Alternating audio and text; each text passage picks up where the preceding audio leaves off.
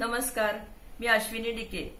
आज अश्विनी स्वादिष्ट किचनमध्ये आपण कांदे पोहे कसे करायचे ते बघणार आहोत. रोजच्या नाश्त्याला आपण करू शकतो असा हा पदार्थ आहे आणि सगळ्यांना आवडणार आहे. तर आपण त्याचं साहित्य आता बघूया.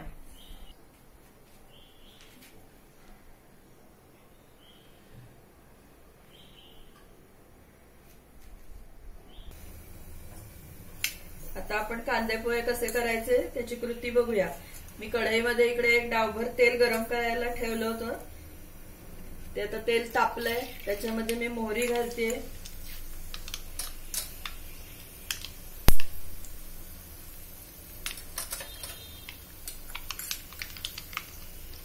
मोहरी तडतडते आता त्याच्यात जिरं घालते एक चमचा.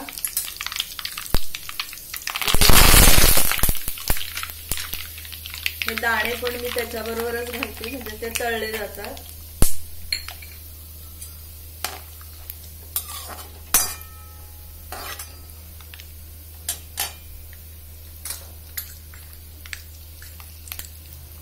एक छोट्या चमच्याने हिंग घालणार.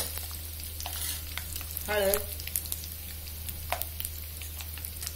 या अशा चमच्याने दोन चमचे हळद घातली. हिरव्या मिरचीचा ठेचा वाटून घेतलेला आहे मी. तो त्यांच्यात घालणार आहे. ठेच्यामुळे त्याला सगळ्या बाजूला छान तिखट लागतं. मिरच्यांचे तुकडे घातले तर खूप घालायला लागतात आणि तिखटपणा हवा तसा त्यात उतरत नाही. आता त्याच्यामध्ये कांदा घालूया. बारीक चिरलेला कांदा घातलाय. कांदा जास्त घातल्याने पोह्याला थोडासा ओलसरपणा येतो आणि कांद्याची गोळी पण छान वाटते. त्यामुळे कांदा भरपूर घालावा म्हणजे त्याचे पोहे छान होतात. आता कांद्याला आपण एक वाफाडून घेऊया.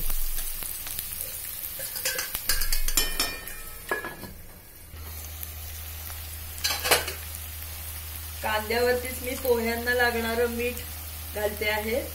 म्हणजे त्याची चव छान येते आणि कांद्याला पाणी पण सुटतं साखर आणि मिठामुळे. दोन चमचे साखर घातले चवीनुसार मीठ घातले ते आपण कमी जास्त करू शकतो आवडीनुसार. थोडीशी कोथिंबीर पण आतमध्ये घालणार आहे म्हणजे त्याचा वास चांगला लागतो. नंतर डिश खायला देताना परत वरून कोथिंबीर घालायची. आता पुन्हा एक दोन मिनिटं झाकून ठेवू आता आपला कांदा छान वापरून झालेला आहे. इतर वेळेस जेव्हा पूजा कार्य काही असतं श्रावण महिन्यात लोक कांदा खात नाहीत अशा वेळेस आपण इथे बटाटा घालू शकतो नाहीतर कोबी बारीक चिरून घालू शकतो. आता आपण हे कांदे घातले. हे पोहे मी धुवून ठेवले होते थोडा वेळ आपलं हे सगळं होईस्तवर. चार मुठी पोहे आहेत साधारण पाच ते सहा माणसांना हे पोहे व्यवस्थित पुरतात नाश्त्याला. तर आता हे मी ह्याच्यामध्ये घालणार आहे पण त्यापूर्वी आपण चिरून ठेवलेला टमॅटो घालतेय. टमॅटो नसेल तुम्ही सायट्रिक ऍसिड घातलं फोडणीमध्ये तरी सुद्धा आंबटपणा येतो. थोडस लाल तिखट घालते नुसत्या हिरव्या मिरचीने तिखटपणा उतरत नाही म्हणून. आता हे भिजवलेले पोहे मी त्यात घालून सगळे एकसारखे मिक्स करणार आहे. एक वाफ अंडी की आपले पोहे खाण्यासाठी तयार.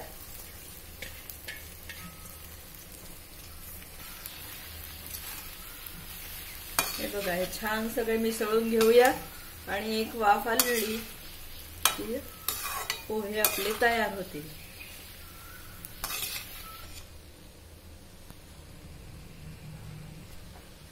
आता एकसारखे सगळे हलवून झाले झाकण ठेवून एक वाफ आणूया चांगली. वा मस्त वाफ आले. रंग सुरेख दिसतोय बघा. टमॅटो कांदा कांदा दाणे. आपले पोहे तयार झालेले आहेत आता. आपण सर्विंग डिशमध्ये काढूया खायला द्यायला. त्याच्यावरती हे आपण ठेवलेलं ओलं खोबरं नारळाचं चव. त्याने पोह्याची चव फारच सुंदर लागते. काही ठिकाणी विदर्भात वगैरे कोरडं खोबरं किसून घालायची पद्धत आहे. जसं आवडत असेल तसं घालायचं. आता आपली माझा हा व्हिडिओ जर तुम्हाला आवडला असेल तर लाईक करा शेअर करा. माझ्या चॅनलला सबस्क्राईब करा आणि शेजारचं बेल आयकॉन पण दाबायला विसरू नका. म्हणजे मी वेळोवेळी पाठवलेली नोटिफिकेशन्स तुम्हाला मिळतील. आता परत आपण एखाद्या नवीन रेसिपीसह भेटूया. तोपर्यंत धन्यवाद.